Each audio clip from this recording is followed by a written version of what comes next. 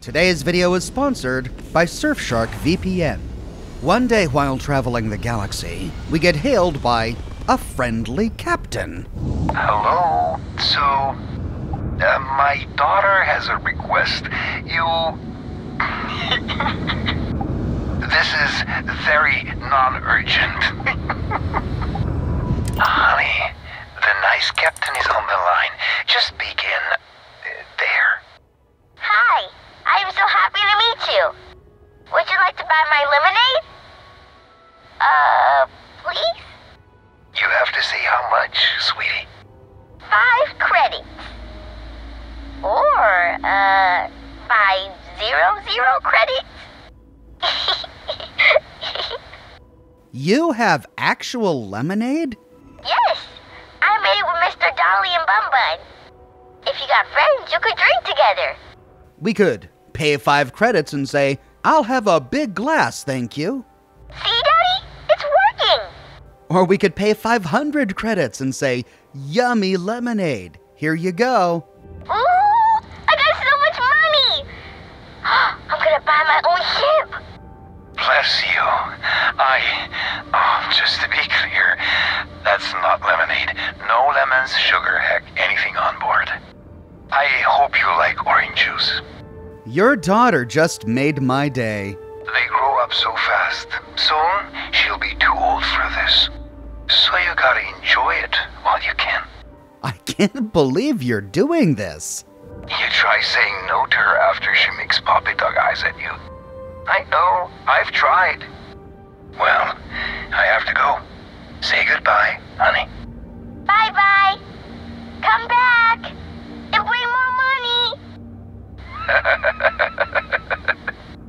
With that, they grav jump away. And regardless of the option we choose, we don't actually get lemonade. He gives us orange juice. Not exactly sure how he gives it to us. Maybe he tossed it out the window. We can stumble upon this random encounter a number of times, which is why I was able to record both the 5 credits and 500 credits option. Looks like the friendly captain will be selling lemonade with his daughter for the foreseeable future. There are many random encounters in Starfield, and not all of them happen in space. I haven't covered all of them in this video, that's why this is only part one of Starfield's random encounters. And these random encounters can happen randomly, in orbit around almost any planet or moon. So there's no fixed location where we can go to farm them. I'll be sure to cover more of them as I find them. Next, we can encounter a Freestar Mule. Hey, contact Charlie 3. That's you. Charlie 3. Nice to meet you. Bye, Charlie 3. Hi. Just doing my daily paying it forward. Avoid the Altair system. Like big time. Why are you calling me Charlie 3? I meet so many people, and I'm just giving up trying to keep track of them all. So you're the third Charlie I've met today. Nice to meet you.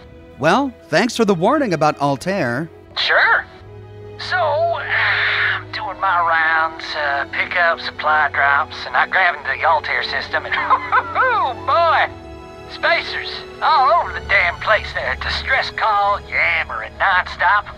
Something big's going down there, and all of us with no skin in the game. Best we just give it a wide berth. Am I right? What did the distress call say? Oh, it sounded bad. Real bad. I had my own problems. I had to plot a course out before the spacers took out my grav drive. Sorry, I'm just not constitutionally capable of the big space fight thing. Well, it might be that I can help them out. Charlie 3, you are looking to pay it forward like big time. Oh, I mean, I won't tell you you're crazy, but wow. Bye, Charlie 3. You've been like the best Charlie 3 I talked to all week. And with that, he grav jumps away. The Freestar Mule here is referencing the Ground Pounder quest, which I covered in a separate video. A Freestar Collective lab is under attack by spacers, and you'll never guess who actually showed up to help them out. You'll have to watch my video to see how that story plays out. It's a dangerous universe out there, with hackers and pirates and more constantly tracking you, looking to scam you or steal your data. But a VPN can help with that, which is why I'm happy to talk about today's sponsor, Surfshark. Surfshark VPN keeps your online identity safe by encrypting all the information sent between your device and the internet. This keeps your personal data protected from big companies or cyber criminals. Surfshark liberates your internet by unblocking blocked websites and bypassing geo restrictions. Get early access to games by switching time zones. Switch your VPN server to one in the time zone that's getting the preload or just the release the earliest. Get that day one gaming advantage. Stop ISPs from throttling your data. They analyze your data and limit your bandwidth when you're engaged in intense activities, such as playing online games. Stop them with Surfshark and enjoy the speed you deserve. Protect yourself from DDoS attacks. When you're connecting via a VPN, attackers can only get the VPN server's IP, keeping your true IP hidden and safe. Today, my viewers can get an exclusive Surfshark deal. Enter promo code Oxhorn for an extra three months free by going to surfshark.deal slash oxhorn or clicking the link in the description below. If only a VPN could protect us from spacer attacks. One of the most frequent random encounters we get are space battle dogfights with ecliptic mercenaries, the Crimson Fleet, or spacers. Oftentimes, these enemies are attacking someone else, usually the United Colonies or the Freestar Collective. If we join in the fight and defeat the enemies, we'll get hailed by the Freestar. Fancy flying, stranger. Please respond. We really showed Ecliptic. Most ships would have bugged out and left us with this mess. But you? Total class act. And their dialogue can change from encounter to encounter. And it can change based on the choices we've made in the game. For example, if we join the Freestar Rangers. The Freestar Collective owes you, stranger. Please acknowledge. That got a little too exciting back there. You're with the Freestar Rangers, right? Space is always just a little safer with you folk around. Or we can come to the defense of the United Colonies, sometimes helping out UC SysDef. And it's over. Unknown vessel, please respond. That was pretty touch and go there for a minute. Your designation. UC Vanguard. You people are a class act. Or sometimes helping out the UC Navy. United Colonies Navy to unknown ship. Please respond. Galaxy's a better place with a few less ecliptic in it. Will you clean them up like you've done this before? Any way we can repay you. Either way, these random encounters always end the same. They offer us a reward. We can choose between credits, salvage rights, we could say we don't want a payment, or we could ask for extra repair parts, which is what I always do, since repair parts are so expensive, and I forget to buy them in town. Transferring parts now. Watch yourself now. Ending transmission. Next, we get hailed by Mrs. Whitmore. Hello, this is Mrs. Whitmore's sixth grade class. Uh, we are having a problem and need help. Please respond. Requesting emergency assistance. Oh, thank you. The school district is supposed to do maintenance on the ships. But our grav drive's cracked and leaking helium-3. The ship can't jump right now. Um, what's helium-3? Helium-3 is a stable isotope of helium that is used as fuel for grav drives, Tashi. What's a grav drive? You know what a grav drive is, or you should. You wrote a paper on it. I'm not sure Billy does know what a grav drive is. Class, please talk quietly amongst yourselves. This is important. Do you have any extra ship parts? How could the school district put you all in danger? The whole fleet is made of charitable donations, so the ships are always breaking down. And the district's mechanics are few and overworked. I hope you're getting hazard pay. Sounds like you deserve it. Tell that to my vice principal. Mrs. Whitmore, who are you talking to? Is it a pirate? Pirates? There are pirates? What? No, no pirates. Everyone is safe. We have a number of options here, including passing a Crimson Fleet pirate check if we're a member of the Crimson Fleet. but I chose to pass a United Colonies Vanguard captain check to say I'm with the UC Vanguard. You're in safe hands, kids. Aww. At least she could have been like a Marine. A volunteer pilot? How daring. See? The authorities are here and they'll help us. Thank you. Now, everyone, settle down. The driver said ship parts should be sufficient for us to repair our ship. We can then donate to her 10 ship parts and say, Here you go. Take care, Mrs. Whitmore. Thank you so much. Stay safe out there. Class, we'll be leaving shortly. Everyone, buckle in. And with that, she grav jumps away. When I covered this live, I had many people in the chat say that when they did it, Mrs. Whitmore asked for only five ship parts or only seven. So I'm guessing that the number of ship parts she asks for is also random. I got unlucky and she needed 10. It was expensive.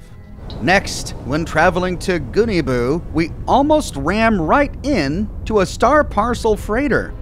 Star Parcel freighter to unknown vessel. I have an urgent package, hoping for some assistance. Acknowledge? The Star Parcels fleet's got a load of these aging Deimos monsters. Built like tanks, but well past their warranty. It's gonna take hours to fix this, if we can get the engine back online at all. Well, I could try and help with the repairs. Sorry, company policy is only employees are allowed on the ship. If you step foot on here, I'm out of a job. I got a hot package that's paid for expedited delivery. They'll dock my pay if it doesn't get to its destination. Star Parcel will reward you well if you can assist. Can't one of the other ships in your fleet deliver it? Eventually, sure. And by then, it's a black mark on my record and wages garnished. Star Parcel always knows how to stick it to us. We could try to pass a persuade check to say, given the circumstances, Star Parcel needs to up that reward. The paperwork involved in giving you anything extra is a nightmare. We both know you're lowballing me. Hold on. I never said that was my final offer. There must be some way we can both win here. I'd like to think so. Tell you what, I can pay you some credits from the discretionary fund up front. Best I can do. All right, send over the package and I'll deliver it. Ah, excellent. All you need to do is drop this off to the ship services technician on Aquila City. They'll take it from there. Thanks for bailing me out of this nightmare.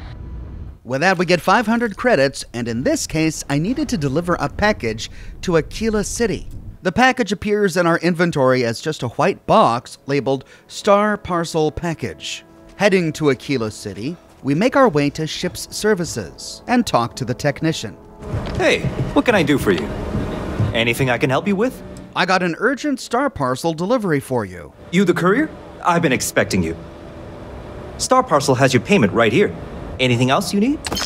With that, he takes the parcel and we get an additional 8,500 credits.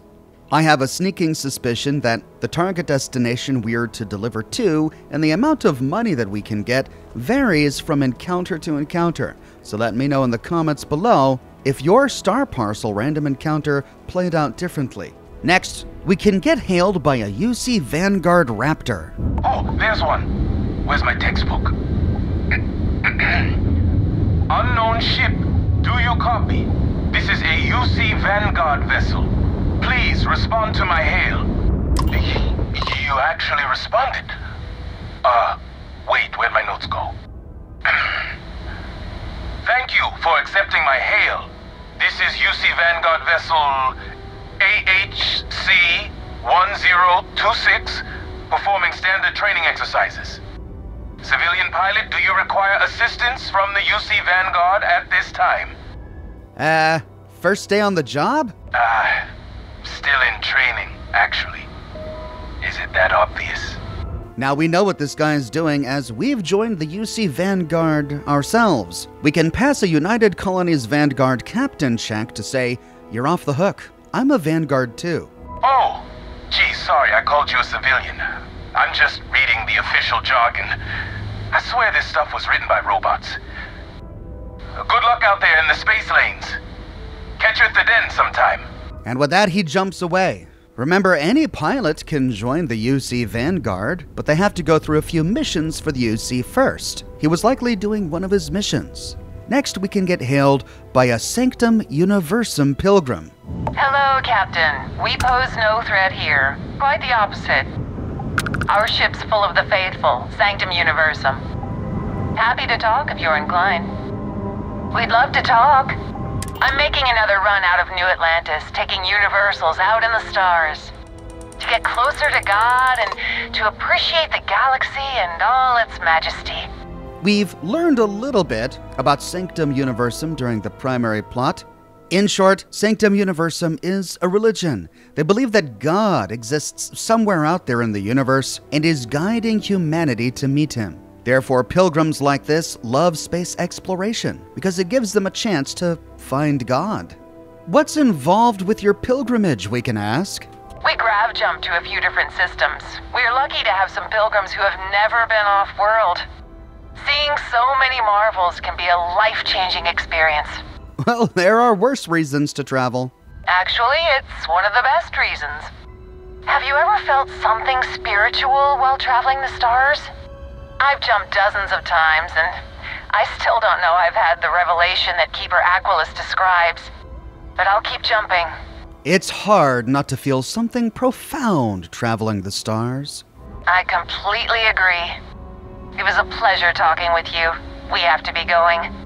But I hope God watches over you out there in the stars. Next, we get a hail from Faraday's Budget Tours. This is Faraday's Budget Tours. I'm, uh, well, surprise you returned a hail. Can I ask the first question? I'm still talking with the captain. Cindy will organize everyone into a queue. Are you sure you're up for this? This is a really fun crowd. Oh, I'm happy to answer questions.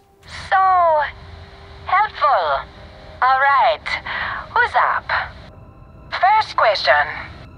Is being a ship captain non-stop thrills and excitement like living in that movie Return of the Interceptor? Well, there's danger, but it's not glamorous like in the movies. Oh, I was kind of hoping there would be thrills all over the place.